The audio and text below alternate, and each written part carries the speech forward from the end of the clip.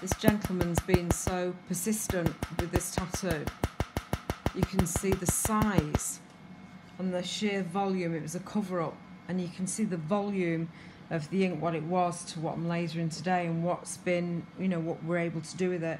So don't anybody feel that, oh, you can't do anything at all with them. You actually can. Anything's doable if you're just patient and you put the time in.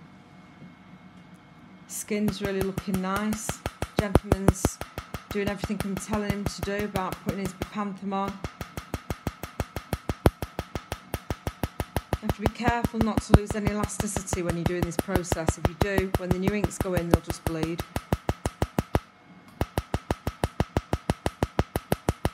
We only want to create enough wound, just enough to make this immune system start